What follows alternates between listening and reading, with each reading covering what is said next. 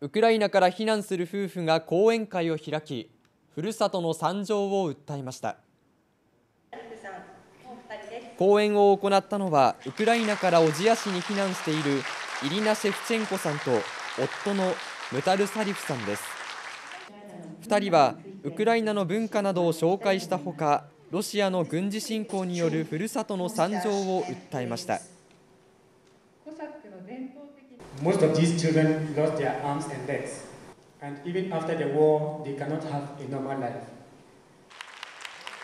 2人は一日も早くウクライナに平和が戻ることを祈っていました。